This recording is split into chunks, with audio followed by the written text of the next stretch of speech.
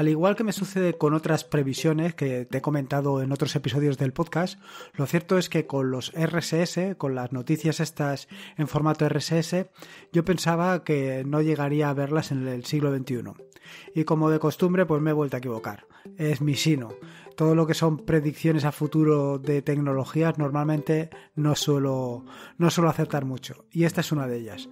Lo cierto es que te puedo asegurar que yo en ningún momento había pensado que en el siglo XXI seguiría trabajando con RSS, ni mucho menos. Yo pensaba que otras tecnologías como podía ser eh, las redes sociales o no sé, o, cualquier otra cosa los habría sustituido por completo.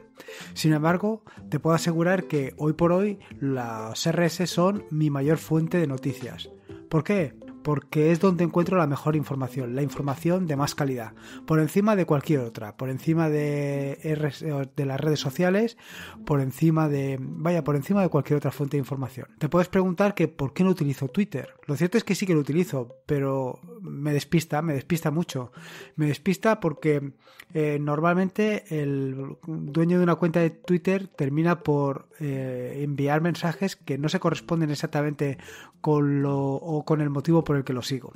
Pero también utilizo otras fuentes de información como pueden ser Reddit, como puede ser GitHub o incluso por supuesto los podcasts. Los podcasts eh, junto con junto con los RSS probablemente sean mi mayor fuente de información, aunque lo consumo de manera distinta. Así, en este episodio del podcast te voy a hablar precisamente de cómo consumir RSS en Linux, básicamente en el escritorio, en Android y cómo lo hago yo.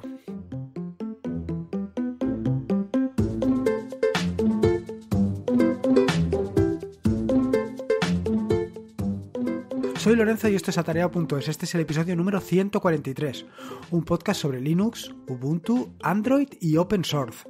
Aquí encontrarás desde cómo ser más productivo en el escritorio o montar un servidor de páginas web en un VPS hasta cómo convertir tu casa en un hogar inteligente. Vamos, cualquier cosa que quieras hacer con Linux, seguro que la vas a encontrar aquí. Y si no, busca en tus RSS que seguro que están también. Bueno, lo primero y principal es contarte qué herramientas puedes utilizar en el escritorio para consumir eh, RSS. Aunque ya te adelanto que aunque hace unos años sí que consumía eh, RSS en el escritorio, incluso llegué a hacer una aplicación que consumía los, los feed de Google Reader cuando aquello todavía vivía. Lo cierto es que actualmente em, no consumo para nada RSS desde el escritorio. No lo consumo porque básicamente ha pasado a mi em, a mi móvil Android. A mi móvil Android en conjunción con otra aplicación sobre la que he hablado en alguna ocasión en el podcast que es Todoist. ¿Por qué? Porque lo que hago básicamente es mirar todas las noticias y aquellas noticias que me resultan suficientemente interesantes, lo que hago es guardarla en el Todoist para leerla posteriori. Y básicamente lo que hago es, pues eso, pasar noticias una detrás de otra.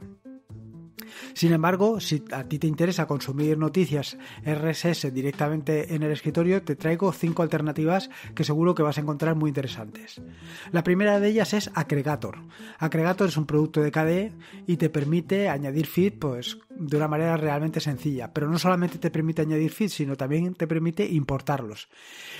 Otra de las grandes ventajas que te puede aportar Aggregator es que eh, te notifica eh, sobre los feeds aquellas noticias que han salido nuevas o que, mm, o que no has visto con anterioridad. Y por supuesto te puede permitir o te permite guardar el contenido. La instalación es muy sencilla porque Aggregator se encuentra en los repositorios oficiales de Ubuntu, con lo cual con un sudo apt install lo tienes resuelto. De cualquier manera, en las notas del podcast te voy a dejar un enlace a cómo instalarlo y por supuesto un enlace a los desarrolladores de la aplicación por si quieres consultar o ampliar la información que yo te he ofrecido aquí en unos pocos minutos. La siguiente de las herramientas es Quite RSS. Quite RSS es otra aplicación que se integra perfectamente en el escritorio de Ubuntu, bueno, y en cualquier otro tipo de escritorio el que estés utilizando y que tiene la ventaja de que tiene la actualización automática del feed o bueno, más bien de todos los feeds que hayas añadido a la aplicación. Esta actualización automática se realiza de dos maneras. Por un lado se actualiza cuando se inicia la aplicación y por otro lado se actualiza según un mm, programa de tiempo, según la hayas planificado, pues que se actualice cada 5 minutos, 10, cada media hora, cada hora, en fin, cada cuando tú hayas conseguido o considerado, perdón. Eh, otra de las características bastante interesantes que tiene Quite RSS es que te permite, o perdón, tiene un navegador embebido. Un navegador embebido que lo que básicamente, o la ventaja que tiene es que no necesitas salir de la aplicación para ver más información acerca de la noticia que quieres consumir. Hay algunos desarrolladores o algunos productores de noticias o algunos generadores de contenido que lo que hacen es limitar a unas frases o a un principio para que tú termines por visitar la, página web. Bueno, Quite RSS lo que hace es que no tengas que salir de la aplicación porque te permite navegar directamente al sitio y consumir también dentro de Quite RSS. Otra interesante eh, característica que tiene esta aplicación es que tiene un bloqueador de anuncios. Un bloqueador de anuncios que lo que va a hacer, pues eh, efectivamente es eh, eso, bloquear anuncios. De manera que si en las notas RSS, bueno, en las noticias RSS que tienes, em, eh, aparecen anuncios, pues no los vas a tener que ver.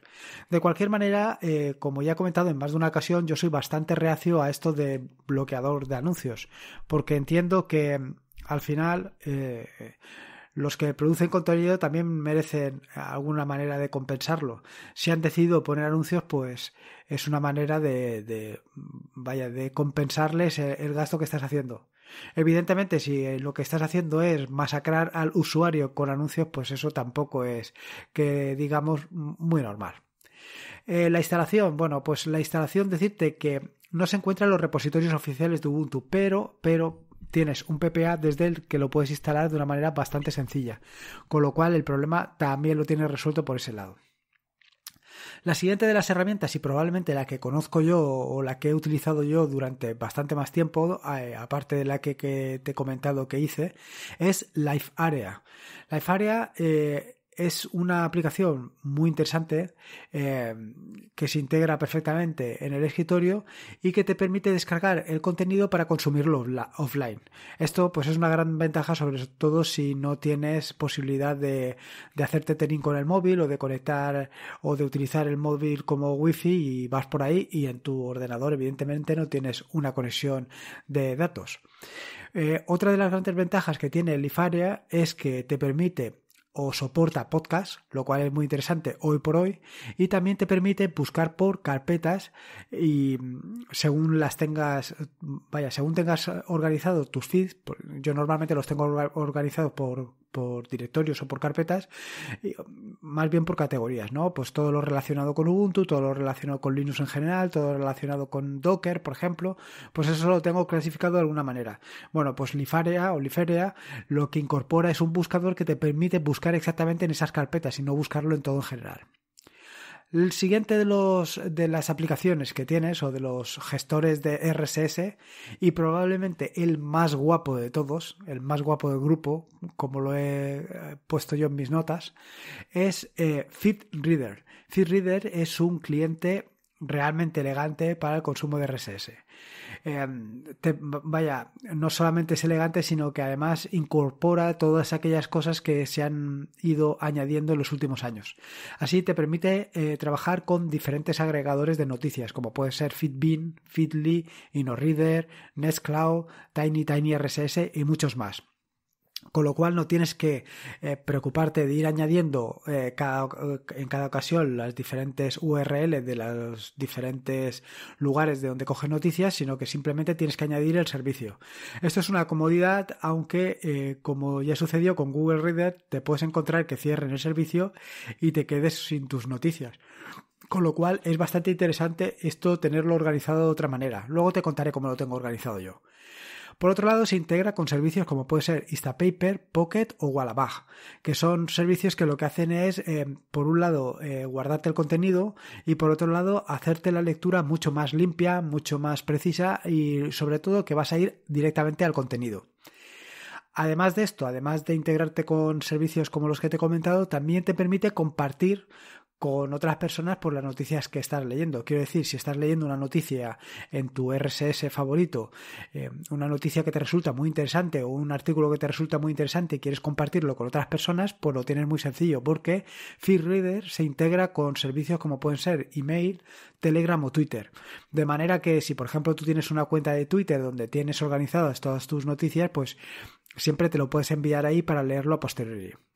Algunas de las características de FeedReader, además de las que te he comentado anteriormente, pues son que por un lado formatea el texto de la noticia para mejorar mucho su legibilidad, con lo cual prácticamente a lo mejor no te hace necesario integrarlo con los servicios que te he comentado de Instapaper, Pocket o Wallaback. Aunque eh, Instapaper, Pocket y Wallaback se caracterizan porque no solamente te limpian eh, la lectura, te permiten ir directamente al contenido, sino que además te permiten guardar eh, la información, las noticias o el contenido que más te resulte interesante. Por otro lado, otra característica que resulta muy interesante de FeedReader es que tiene notificaciones de escritorio y por tanto se integra mejor con el escritorio que otros servicios. No solamente te permite leer noticias, por supuesto, FeedReader, eh, al irse hacia las nuevas tecnologías, también ha incorporado los podcasts dentro de su, dentro de su bagaje de operaciones a realizar. Te permite realizar búsquedas y aplicar filtros para que no pierdas más tiempo buscando aquella noticia que te ha parecido interesante o aquel feed o aquel recurso que quieres, em, vaya, que quieres leer de nuevo o que estás buscando. Respecto a la instalación, bueno, ya has visto que esta aplicación FeedReader es una aplicación realmente espectacular porque no solamente aúna todo lo, lo, digamos más clásico que corresponde a los RSS, sino que además ha incorporado pues novedades y tecnologías como puede ser pues la integración con aquellas aplicaciones que te permiten limpiar el feed y también poder compartirlo con otras personas. El problema de esta aplicación es Flatpak y es que la única manera que tienes para instalar, bueno, Supongo que habrá alguna otra manera, pero vaya, la forma sencilla de instalarlo es utilizando Flatpak. Yo ya he comentado en más de una ocasión, además le dediqué un episodio completo del podcast a hablar sobre estas tecnologías, sobre Flatpak, AppImage y, y Snap. Lo cierto es que salvo Flat, eh, perdón, salvo ni Flatpak ni Snap me convencen. Y no me convencen, como ya te comenté en aquel episodio del podcast, por el sencillo hecho de que eh, al final para instalar una aplicación, pues eh, a lo mejor estás metiendo un giga de, contenido dentro de tu equipo lo cual me parece absurdo. No solamente eso, sino que tiene otras desventajas como que no se em, integra tan bien en el escritorio como otras aplicaciones, eh, funciona más lento, en fin, no me termina de convencer. De cualquier manera, en las notas del podcast te voy a dejar un enlace hacia el servicio para, por si acaso te interesa, por si acaso hay alguna novedad al respecto y puedes instalarlo de otra manera. Y por último, y como no podía ser de otra manera, me queda una herramienta por comentarte, que es Newsbeater. Newsbeater es una herramienta, vaya, una aplicación de lectura de RSS para el terminal. Y esto evidentemente no podía faltar aquí me parece muy interesante. Me parece muy interesante esto, al igual que otras aplicaciones de correo electrónico que también funcionan directamente desde el terminal porque lo que te permiten básicamente, y creo que es lo más importante de esta herramienta, es que te centres en el contenido, te centres en lo que estás haciendo. El problema de otras herramientas de redes sociales, el problema de consumirlo directamente en la página web o en un navegador es que al final te terminas yendo al navegador y terminas buscando otras noticias que no tienen relación directa con lo que estabas trabajando. Y esto, pues, evidentemente es un problema. Es un problema porque, porque, vaya, es totalmente improductivo. Empiezas mirando información acerca de cómo instalar una determinada aplicación en tu equipo y terminas por ver una carrera de automovilismo, cosa que pues no tiene ningún sentido. En fin, que como te digo, pues Newsbeater es una buena herramienta y en este sentido, si estás acostumbrado al uso del terminal, pues es la solución o por lo menos la mejor solución que puedes encontrar. Dicho esto, Ahora te puedes preguntar si yo utilizo algún servicio de agregación de noticias, como los que he comentado antes, sobre Feedly, eh, Tiny Tiny RSS o algunos de estos. Y lo cierto es que sí. Lo cierto es que actualmente estoy utilizando Tiny Tiny RSS, pero con la salvedad de que lo tengo alojado en un VPS. De manera que lo estoy utilizando esto, básicamente em, en mi propio servidor y no tengo o no dependo de terceros que en un momento determinado, como hizo Google Reader, pues decida em, abandonar el proyecto y me quede yo sin mis noticias. De esta manera soy yo el que lo controla. Lo cierto es que funciona muy bien.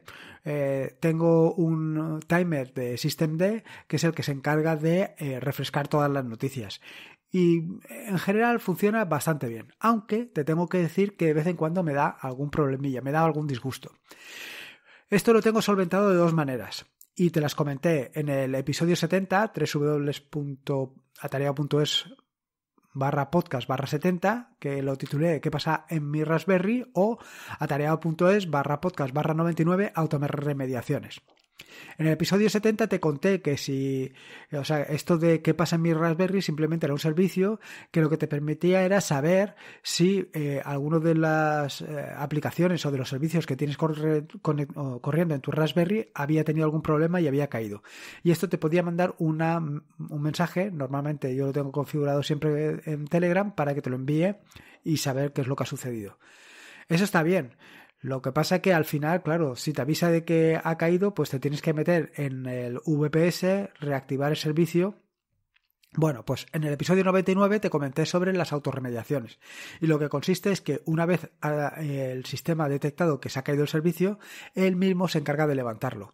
La aplicación se encarga de levantar el servicio. Si por ejemplo es eh, que se ha caído eh, el servicio de Systemd, pues este se encarga de levantarlo. Con lo cual, ahora, pues sí, de vez en cuando me encuentro la desagradable noticia de que no se está actualizando eh, los RSS o que el servicio de ha caído, pues directamente o a los pocos minutos me encuentro también con la noticia en mi Telegram de que el servicio se ha recuperado y está funcionando perfectamente. Y por último me queda decirte cómo consumo los RSS, porque si bien te he dicho que yo utilizo Tiny RSS instalado en el VPS, también te preguntarás que cómo lo consumo yo normalmente, si lo consumo en una aplicación de escritorio o no. Pues no, yo lo utilizo también eh, desde Android y lo consumo desde Android por una sencilla razón, porque normalmente lo hago mm, pues a última hora del día, eh, mientras estoy viendo alguna serie, pues si la serie no es muy entretenida o lo que sea, pues estoy viendo las noticias. Como lo que hago es normalmente leer los titulares, pues lo hago muy rápido. Leo los titulares rápidamente, si leo algún titular que me parece interesante, como te he dicho anteriormente, lo añado a Todoist y si no encuentro ninguno interesante, pues sigo pasando. De vez en cuando si te tengo que confesar que encuentro alguno suficientemente interesante como para quedarme en él y leerlo por completo, pero son las mínimas. En cuanto a la aplicación, bueno, pues estoy utilizando una aplicación de Andrew Dolgoff, y es una aplicación que tiene una versión de pruebas, que creo recordar que es con anuncio, y luego tiene un, locker que lo que te permite es quitarte pues esos anuncios. Evidentemente, eh, yo en su momento la compré porque me pareció, eh, no sé si eran 2, 3 o 4 euros, no recuerdo, pero me pareció interesante donarle al desarrollador o darle ese dinero al desarrollador por el trabajo realizado, que al final eh, muchas veces pues no, no piensas que detrás de todo esto hay una persona que está haciendo su trabajo. Y luego otra interesante característica que no sé si añadió últimamente es el modo oscuro. No es un, no es un modo negro por completo, pero es un modo oscuro. Con lo cual, para mí, precisamente, para el hecho de que yo la consumo por la noche, pues me viene perfectamente. En fin, espero que eh, hayas tenido una visión general tanto de las aplicaciones que puedes utilizar para consumir RSS como de cómo lo hago yo y las posibilidades que tienes. En las notas del podcast que encontrarás en atarao.es barra podcast barra 143 están los enlaces que he ido mencionando a lo largo del podcast. Eh, si quieres te pasas por allí, me dejas una mención o una nota o un comentario o lo que tú quieras y que yo lo recibiré a brazos abiertos y si puedes pues valoración en positiva, por supuesto, en eh, iTunes o en iVoox, pues me vendría perfecto para dar a conocer este proyecto que, en fin, que me encanta. ¿Para qué te voy a decir?